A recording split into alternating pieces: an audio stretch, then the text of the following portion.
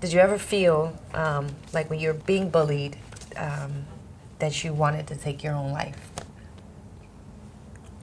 Yeah. Sorry. Yeah.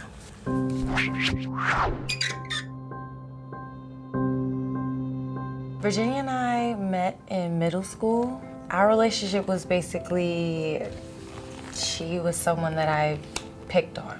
I was a bully to Virginia. So my first encounter with bullying, I guess with her, um, probably was around fifth grade. I think I said nasty things about how much she weighed. The kids I went to school with in elementary and middle school, we all lived in the same neighborhood. So I wouldn't come outside most of the time because most of the kids that, you know, kind of were mean to me lived in my neighborhood. I can't say that I really, really had any friends back then. I was I was a bit underweight. I had um, eye glasses. I went through seven years of orthodontic work. I was picked on for that, and so I would project it onto her for being overweight. Do you have any questions for Nyasha? Um, I guess the the main question would just be why now?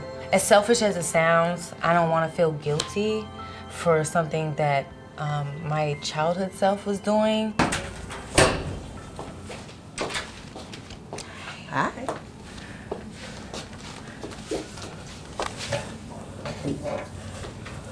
How are you? I'm good. How are you? I'm good. You look good. Thank you. So do you. What do you, what do you, what do you remember about me from grade school? You always were so bubbly. Um, I remember that. I don't know. What do you What do you remember about me? I, I remember more of what I said about you, and I don't. I know a lot of uh, a lot of the, I guess the words, the harsh words were more about my appearance.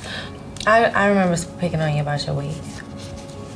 Nobody noticed the shift, but my grandmother passed away when um, I was in middle school, and she used to take medicine for cancer, and it it made her gain a lot of weight because she wasn't really worried about, you know, um, how big she was. I kind of stopped worrying about how big I got.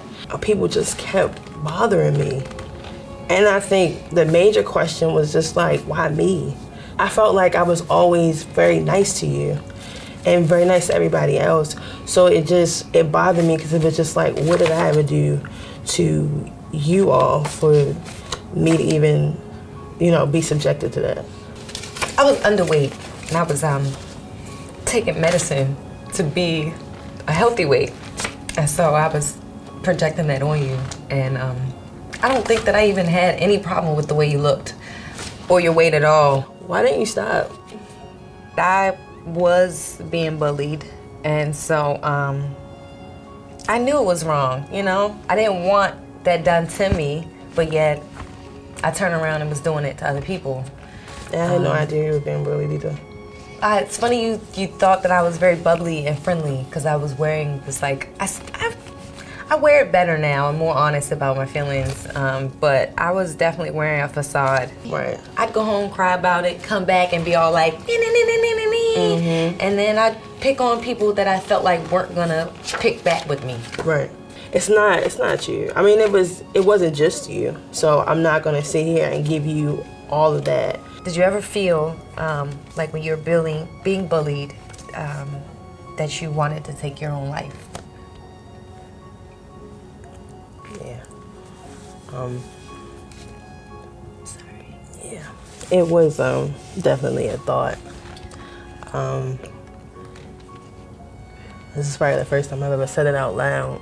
Well, probably the second time I've ever said it out loud, but yeah. I can't say that I hadn't thought about it. Um it's such a sad thing to think about. Wait, you said you thought about this too? Uh, yes. Just short answer, yes. I was insecure for a long time about my weight, about um, my appearance, um, about the way I dress. It took a long time for me to kind of like me. For The that. more I'm, I'm listening to you, the more I feel like, yeah, we had a lot in common. it take a lot for me to really hate you. I didn't feel like I hated you then.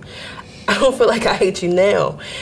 And it took a long time for me to say, even though I haven't said it to to you, that I forgive you guys for that. It was a it was a lot to deal with. It's okay. It was a lot to deal with, and I just wanted to move on from it. I've never actually had something like that happen to me before. I definitely did not expect for Virginia and I to have so much in common. It felt good just to kind of close a sort of chapter in my life that was like pretty sucky. I know, it's okay. Even if you didn't let me, I was gonna hug oh you. Oh my god, no. Yes. He's Yes. like, I was gonna hug you anyway because I don't care.